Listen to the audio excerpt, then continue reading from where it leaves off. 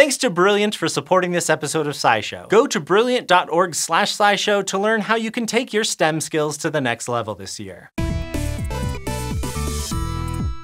Leprosy is a disease that has affected humanity for thousands of years, going back to at least 2000 BCE. It inflicts painful skin lesions, and the lack of a cure has led people with leprosy to be shunned and isolated throughout history, even up until the turn of the 20th century. It's sometimes referred to as Hansen's disease after the scientist who discovered its cause, the bacterium Mycobacterium leprae in 1873. But even that didn't lead to a reliable treatment right away.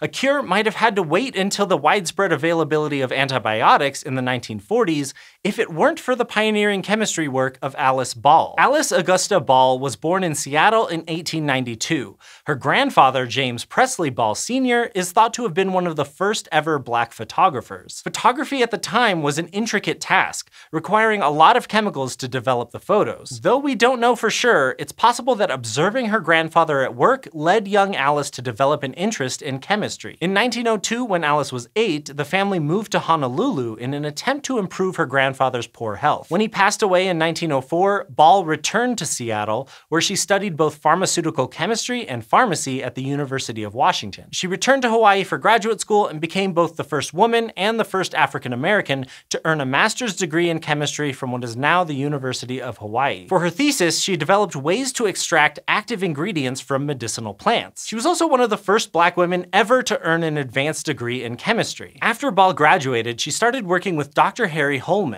a researcher who was studying chaulmoogra oil. At the time, this was one of the few treatments available for leprosy. The oil derived from the chaulmoogra tree has antibacterial properties. In fact, it's been used in Indian and Chinese traditional medicine to treat skin conditions for centuries. But while you could slather it directly on a person's skin, it wasn't especially reliable. Some people tried to make the most use of the oil's antibacterial properties by injecting it directly into the patients, but the oil was too thick to be absorbed by the body, causing painful blisters to erupt on the patient's skin, which was kind of the problem in the first place. Hollmann wanted to improve treatments for leprosy patients, but he needed an expert in natural product chemistry, which is why he recruited Ball. During her work with Hollmann, Ball developed a technique to make chaulmoogra oil injectable by isolating its active ingredients. Ball's method first started with saponification of the oil. Saponification is the same chemical process used to turn turn fat and oil into soap, with an alcohol as a byproduct. It involves heating the fat and oil with a strong base, in this case potassium hydroxide. Saponifying the oil made it possible to purify its active ingredients in the form of fatty acid salts, basically a long oily molecule paired with a positively charged potassium ion. A few more chemical steps converted these into ethyl esters,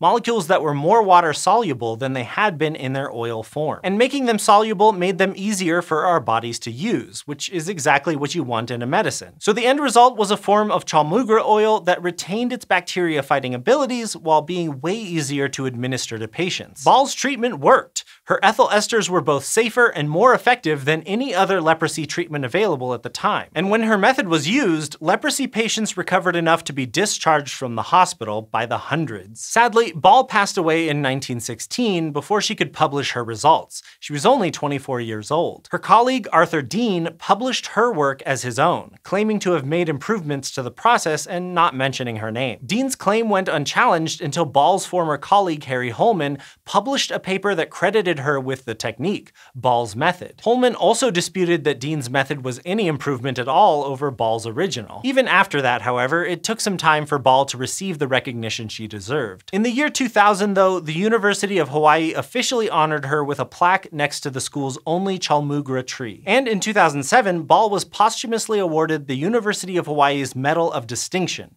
its highest honor.